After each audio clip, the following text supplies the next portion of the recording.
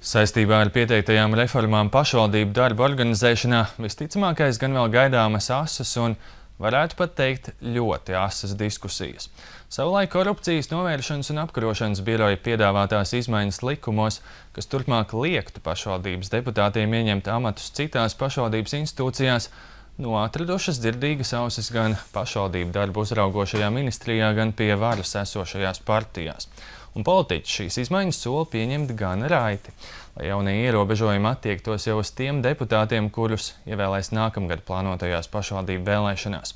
Taču jau šobrīd varam prognozēt, ka pretestība šiem ierobežojumiem būs gana liela, jo, ja tie stātos spēkā, pārvēlēšanas gadījumā tādas amatpersonas kā, piemēram, Aivars Lembergs, Nils Ušakovs vai Andris Ameriks vairs nevarētu ieņemt labi atalgotos un arī ietekmīgos valdes locekļu amatus brīvostās.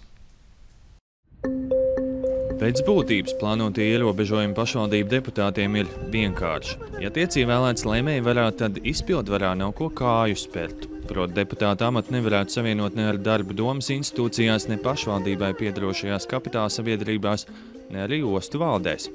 Šādus grozījumus likumā par pašvaldībām jau vairākus gadus cenšas panākt korupcijas novēršanas un apkarošanas birojas, kas secinājis, ka domniekiem patīk iesaisties ne tikai deputāta krēslā, bet arī, piemēram, labi atalgotos un arī ietekmīgos valdes locekļu amatos dažādās kapitāla sabiedrībās.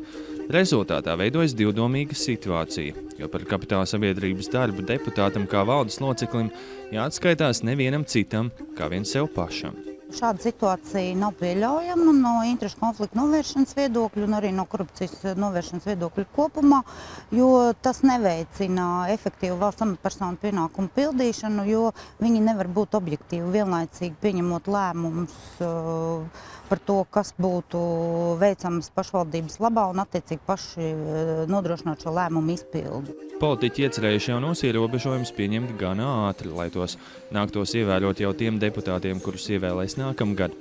Iecerēts, ka mazāk ierobežojumi būs mazajās pašvaldībās, kurās dzīvo līdz 5000 cilvēku. Savukārt lielajām pilsētām un novadiem, kuros dzīvo vairāk nekā 20 000 iedzīvotāju, ierobežojumi būs ļoti stingri. Domi deputāti nevarēs ieņemt nekādus amatus pašvaldības izpildu institūcijās. Pat amatpersona lemj, kā tad viņi pat turpmāk dzīvos, darīs kaut kādus darbus, kā viņi teiksim, saņems atlīdzību, tie ir tie jautājumi. Un līdz ar to, tur, ja pastāv personiskās ieinteresētības komponenti, tad nekad šis lēmums nebūs pietiekami objektīvs, izsvērts un tiesisks. Šī reforma noteikti nav paprātam pašreizējiem lielo pilsētu vadītājiem. De facto aplēses rāda, ka, piemēram, Rīgā no 60 domniekiem ierobežojumu pieņemšanas gadījumā no amata dažādos pašvaldības uzņēmumos, institūcijās un brīvostā nāktos atvadīties gandrīz pusēji deputātu. Tostarp pašreizējiem Rīgas brīvostas valdes priekšsēdētājiem Andrim Amerikam un brīvostas valdes loceklim Nilam Ušakovam. Abiem kungiem tas nozīmētu zaudēt gan daudz no algu brīvostā, kas ir ievērojami lielāka nekā Rīgas domē. Piemēram, ja Amerikas kā vicemērs pagājušā gada laikā nopelnīja 19,000 latu, tad kā Rīgas brīvostas valdes priekšsēdētājs viņš saņēma vēl papildus 34,000 latu. Rīgas domas deputāti šobrīd paralēli tiešiem pienākumiem ieņem valdes vai padomas locekļu amatus arī tādos pašvaldībai piedarošos uzņēmumos kā ceļu pārvalde, Rīgas siltums, Rīgas centrāla tirgus, Getliņa eko, Rīgas luksafārs, Rīgas starptautiskā autoostu un Rīgas satiksme. Turklāt Rīgas satiksmes gadījums ir īpašs. Uzņēmuma valdē darbojas četri domnieki – Andris Bērziņš, Nikolais Zahāraus, Maksims Tolstojs un Irina Vīnnika. Trīs no šiem deputātiem darbojas arī Domas satiksmes un transporta lietu komitejā, kas uzrauga Rīgas satiksmes darbu. Rezultātā sanāk, ka šie deputāti uzrauga paši sevi. Es strādāju divas komitejas, sociāla jautājuma, transporta uh, lietu komiteja. Un man ir ļoti grūti, man ir ļoti grūti. Bet pēc tam, kad es sāku strādāt Rīgas satiksmē, kura pilda pirmām kārtām sociālo funkciju, man kļuva vieglāk. Es, es redzu un zinu, par ko iet runā. Vinika šādi pamato, kāpēc ierobežojumi esot nepārdomāti, jo viņas prāt sēdēšana divos krēslos vienlaikus deputātos radot lielāku izpratni par to, kā strādā pašvaldību uzņēmumi. Vinika gan šodien bija viena no retajām, kura bija gatava paust savu viedokli par plānotajiem ierobežojumiem un potenciālo amata zaudēšanu. Vajag pirms, pirms piedāvāt, kas var apvienot, kas var nevar, kas var kandidēt vajag veikt pašvaldību funkciju audītu. Ministrijā tāds audits netika veikts. Netika. Un man tas projekts daž, dažkārt, atvainojiet, ka es par to teikšu, bet atgādina padomju laiku dokumentu, kur galvenais bija spilgta iniciatīva. Teiksim, piecgadi četros gados. Kāpēc tieši četros? A, a, tā būs labāk. Visstingrākie ierobežojumi bez Rīgas attiektos vēl uz pārējām lielajām pilsētām – Daugavpili, Liepāju, Jelgavu, Valmieru, Reizekni, Jēkapili, Jūrmalu un Vēnspili. De facto aplēses rāda, ka gandrīz katrā no šīm pilsētām daļa deputātu sēž uz diviem krēsliem, gan lēmējvarā, gan izpildvarā. Tā tas ir gan Jūrmalā, kur vairāk deputāti ieņem amatus arī Lielupes ostas pārvaldēm un atsevišķās kapitāla sabiedrībās, gan Valmierā un Daugavpilī, kur puse deputātu šādi apvieno amatus.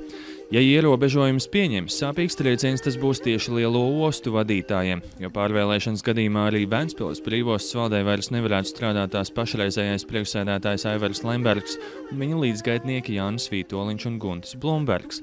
Arī šīm domniekiem algas brīvostā ir ievērojami lielākas nekā domē. Interesanti gan, ka, ja ierobežojums pieņems, tie līdztekus neietekmēs amatus tādās sabiedrībās, kā piemēram Ventspils attīstības aģentūrā un biznesa attīstības asociācijā, kurā saskaņā ar vidas sniegtajām ziņām Lembergs pagājušo gadu nopelnījis 132 tūkstošu slatu. Šis attieksies regulējums pamatā uz gadījumiem, kad deputāti ieņems amatus uh, attiecīgās pašvaldības izpildvarā. Uh, gadījums, kur jūs minējat, attiecas uz uh, amatu savienošanas gadījumiem, kad deputāts drīkst savu amatu savienot ar amatiem sabiedriskās organizācijās, biedrībās, nodibinājumos, un šie grozījumi to neregulēs.